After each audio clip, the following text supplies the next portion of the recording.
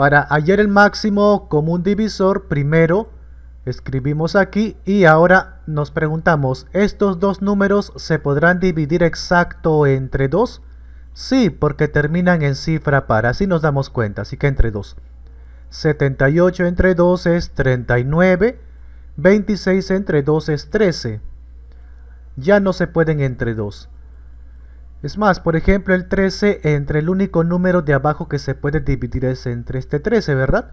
Y justo el otro también, así que entre 13 a ambos. 39 entre 13 es a 3. 13 entre 13 es a 1.